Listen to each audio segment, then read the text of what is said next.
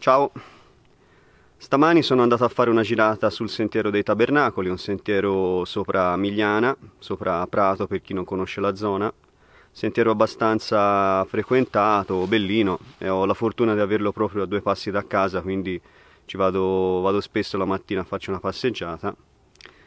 E visto che ero qui, non è una giornata mh, straordinaria dal punto di vista fotografico, però ho detto voglio ehm, provare la nuova attrezzatura video che è il mio regalo di Natale, la Panasonic eh, Mirrorless, quindi anche solo per testare l'attrezzatura nuova ho detto faccio un video e ne approfitto per fare un cappuccino outdoor, cappuccino liofilizzato della Nestlé, mm, sarà imbevibile mi immagino, ma chi lo sa, con un eh, set eh, fornello alcol più tazza minimale che mi sono autocostruito e vabbè, niente, vediamo questo cappuccino com'è.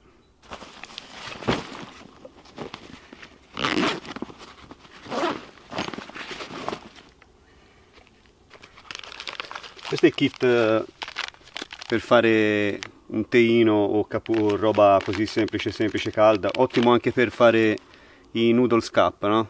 Cioè i noodles pronti o yakisoba, quella roba pronta, ci metti l'acqua calda per non stare a portarsi roba pesa quest'ora non l'ho pesato ma è leggerissimo. È tutto in alluminio.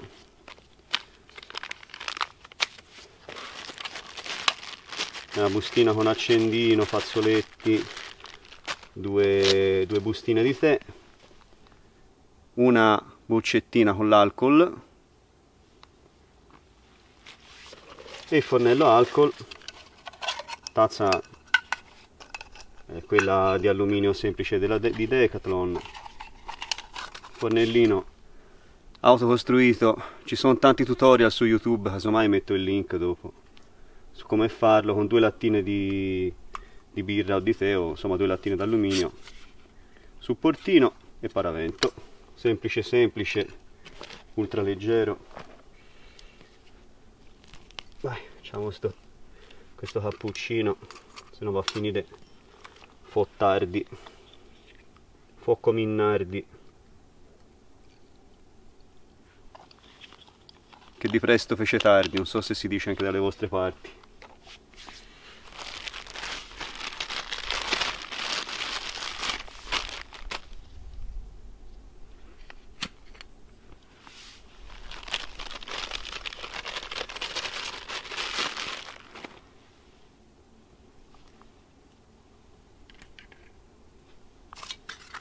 Ovviamente l'alcol alla luce del sole non si vede, è invisibile, praticamente invisibile. Comunque fa una bella fiammellina. Questo fornellino ce l'ho dal 2010. Ce l'ho veramente da 80 anni. Ho portato anche in escursioni di 3 o 4 giorni in montagna non ho voglia di portarmi dietro fornello a gas o cose complicate a volte anche il noodle cup e via.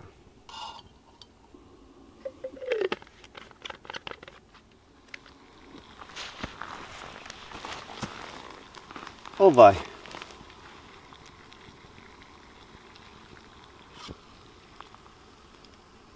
Oh vediamo questo cappuccino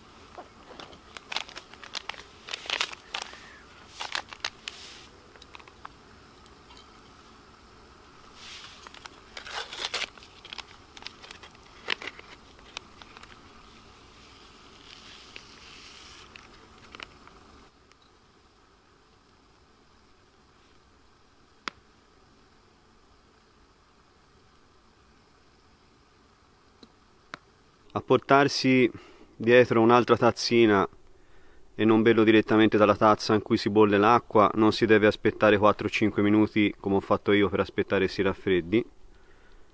E nel frattempo la schiuma si, si ritira e fa questo effetto un po' bruttino su, sulla tazza.